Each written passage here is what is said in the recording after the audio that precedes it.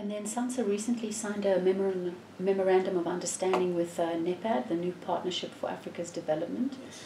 And in terms of that agreement, you're going to be providing Earth observation products and services. That's right. How is, th- how is that uh, agreement going to work? So when we signed off on the agreement itself, we agreed that there were two thematic areas that we'll start to focus on immediately: food security and water.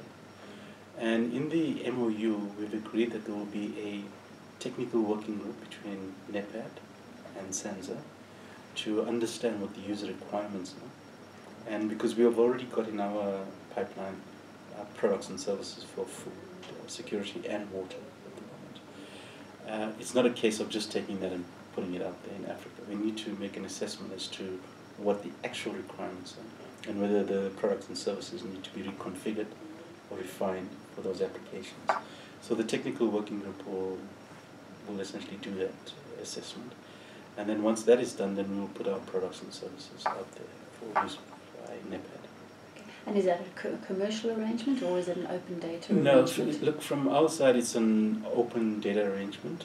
Um, so again, we might be limited in some respect. So, for example, the spot, uh, we procure spot imagery for South Africa, but we ha- also have a reseller agreement for the SADC region and not beyond that. So if we um, re-looking at the licensing agreement, can we look for broader Africa focus? We have access to CBERS, the China-Brazil Earth Resource Satellite, and the arrangement is that South Africa will provide the imagery or distribute it to the SADC region, uh, working with China, and the rest of Africa will get access to the imagery working with Brazil. And so our footprint is SADC. Okay. So if you want to go beyond SADC, uh, some other negotiations need to take place in terms of making it open and freely available. But from a SADC perspective, uh, the research cloud that I was talking about, it's uh, the, so we're doing it in stages. It's at the SADC level and then uh, beyond the SADC. Is this the African Research Cloud The African about? Research Cloud. Okay. So, from an Earth observation perspective, interestingly enough, we also identified let's focus on food security. So, we're seeing a neat convergence emerging where the piloting on the Research Cloud is, from an Earth observation perspective, is on food security. The agreement that we signed with the NEPAD uh, is also on food security. And then, if you look at the Africa EU focus, there's also food security.